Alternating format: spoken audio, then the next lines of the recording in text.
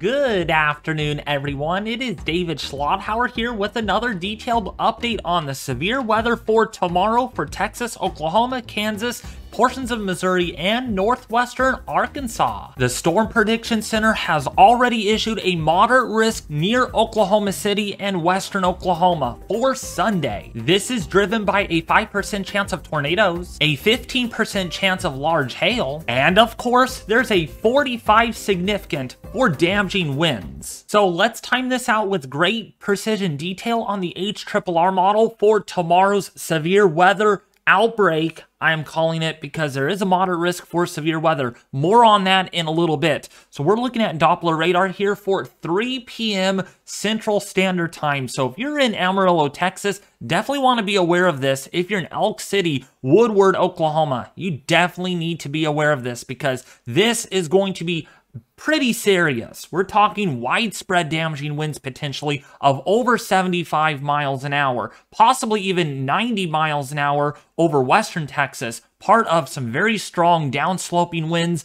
coming off of New Mexico. So let's go forward here. The storms are going to start popping off, especially over Amarillo, Texas, Pampa, Texas, if you are in uh, Liberal in Kansas. If you're in Meade, uh, Kansas, you're going to start seeing more semi-discrete, discrete supercells pop off right around 4 p.m. Central Standard Time for your Sunday. Sunday morning looks fine. Sunday afternoon and evening, not so much.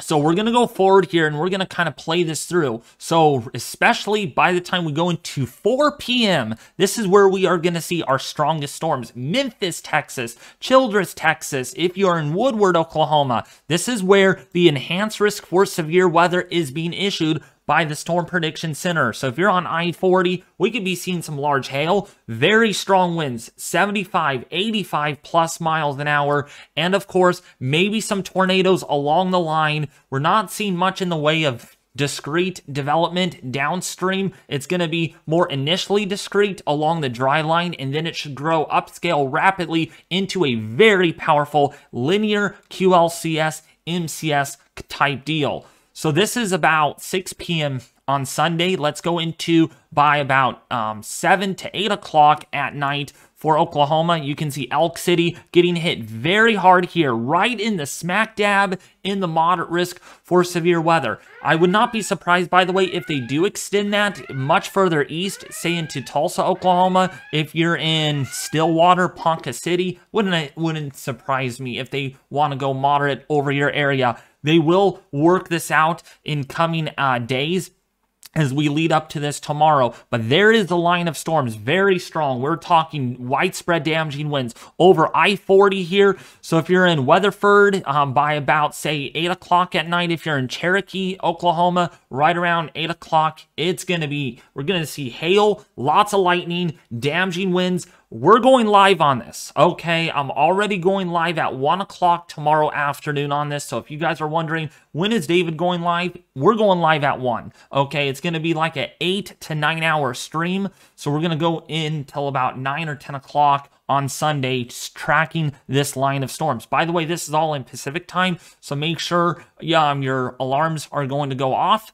about 3 or 4 o'clock um, Central Time or sooner. That line is very strong, though, by about 8 o'clock at night, and then it gets into Oklahoma City by about 9 o'clock. So, yes, if you're out and about storm chasing, Big time. We're talking significant wind damage. Very populated uh, area. Chickasha, if you're in Lindsay, if you're on I-35 here to the south, very strong winds out ahead of this. And within the front itself, Wichita Falls, Texas, spreading all the way down to Abilene, Texas. This line of storms here looks pretty, pretty strong, but the strongest will be within the Wichita to the south in Winfield in Kansas, Ponca City, right around 9 o'clock at night. And then by the time we go into, say, about uh, 10 o'clock into 11 o'clock uh, Central Time, it will pass over Broken Arrow, uh, Bixby. If you're in Tulsa, if you're in um, Muskogee, if you are in Stigler, it's going to move into your area right around the 11 o'clock hour on your Sunday. And this will be moving into northwestern Arkansas right around midnight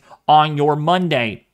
right around midnight on your Monday, also into western Missouri, like Olathe, if you are in Green, uh, Valley, if you're Marshall, it's going to get there, but it's going to kind of get a little more diffused, but still a slight risk for severe weather over Jefferson City right around 2 o'clock in the morning for your Monday. So you're definitely going to be woken up to seeing, um, hearing thunder, strong winds, and maybe some hail. And then it gets into St. Louis as early as 4 to 5 in the morning there right on the leading edge of that marginal risk. But not only that, I wanted to show you all something. This system is very dynamic and we're going to go to the winds for that. So this is for Sunday morning right around 10 in the morning for central time. The winds are going to be a big big deal especially over western Texas as well as New Mexico. We could be seeing gusts over 80 miles an hour in some of the higher elevations Winds could gust as high as 100 plus miles an hour. That will really bring down trees, power lines. We're talking blowing dust and sand.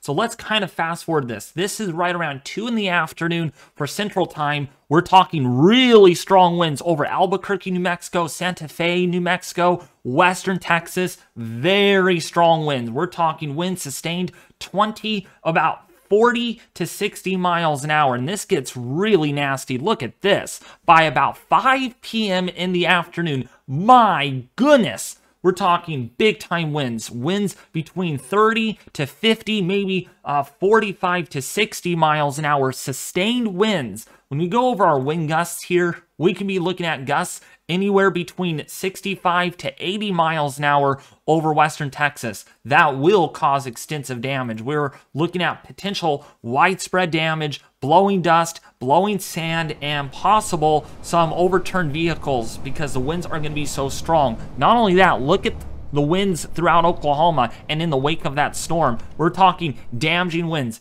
I would not be surprised for one thing, they go, uh, they extend the moderate risk, and there might be just a little area that I'm primarily concerned about, especially over western Oklahoma. They might push the lever up to a high risk for severe weather. I don't think so. Please don't say I'm hyping this up because the way the wind dynamics are here, this really could warrant a much higher in threat than a moderate risk in isolated locations. So yeah, big time, big time impacts here over Oklahoma and western Texas. And then that gets into Missouri by the time we go into the early morning hours of Monday. Now, the reason why the winds are going to be so strong and this system is going to be so dynamic is you can blame it on the 18,000 foot level mid-level jet that is going to be in place, ejecting out of New Mexico tomorrow late morning, early afternoon. Once this gets into Texas, we're going to see a lot of cyclogenesis going on over Colorado, eastern Colorado, and western Kansas. And to the south, this is where we have the best dynamics. Strong winds, the dry line, severest weather, because look at the winds here at 500 millibars, 18,000 feet, 115 plus knots over western Texas. This gets over Oklahoma by 06Z on Monday. So that would be right around, say, about 1 to 2 o'clock in the morning for Oklahoma. But look at that. Really, really strong wind dynamics. On top of that, we're looking at moisture advection uh, with dew points anywhere between 60 and 65 degrees. That will become suitable for our severe weather setup over Oklahoma and northern Texas. The moisture is pretty much kind of a mixed signal here. We're not seeing super rich moisture like low 70 dew points, but we are seeing enough moisture that there will be severe weather over Oklahoma and portions of western and kind of northeastern panhandle of Texas, especially as this system really swings on through. Therefore, the Storm Prediction Center has went moderate for severe weather, especially again for tomorrow for western um, Oklahoma, for northeastern panhandle of Texas. You can clearly see it there. It is a level four out of five on the severity weather index scale. You don't see these moderates very often, and they're used for a big reason, usually seen in tornado outbreaks or strong derecho type wind outbreaks um, over this region. And so we do got a moderate risk tomorrow, and this is not driven just by wind, but we're also, this is driven by tornadoes. Well, not really by tornadoes. We're only at a 5% chance of tornadoes over central and western Oklahoma, but yes, we are going to see tornadoes within the moderate risk for severe weather, and we're going to see a 15% risk for large hail. Quarter size hail cannot be ruled out with isolated events that could exceed two inches in diameter, especially when the uh, the initial phase of intense storms do develop. They'll be that will be the best chances to seeing some very large hail events, especially over northeastern panhandle of Texas and southwestern far Oklahoma. On top of that, we are looking at a 45 significant for damaging winds 30 significant over rest of Oklahoma. I'm very sure they are going to extend the moderate risk in later outlooks before the initial storms do fire up. So keep that in mind. If you're downstream, don't think you're going to stay in an enhanced risk for very long. I think they're going to go moderate the further east you go, especially right over Tulsa, Oklahoma, Broken Arrow, and points west. I think that's going to be covered there in the 45 significant for damaging winds. But anyways, that is going to sum it up for today's video. Please come back and watch my live stream tomorrow. We're to go live right around 1 o'clock in the afternoon in Pacific Standard Time. That will be 3 p.m. Central Standard Time. I might go live a little earlier. That will be based on the current expectations of the storms and where we're at. So make sure you have notifications turned on to the max. Subscribe to the YouTube channel if you haven't already. And lastly, make sure you like the video to get more updates because I know you guys like my content, right? If you guys do, please show that. That way I know that, oh, you like this video, you like these updates. So make sure you hit the like button, share, and subscribe. It really means a lot because yes, this is in a very populated area and my job is here to save people's lives. And I can only do that if you share the stream, share the videos that I make, and everything like that. Alright, but I'll be back with you more tomorrow with a live update on this severe weather outbreak for Oklahoma and Texas for Sunday afternoon and evening.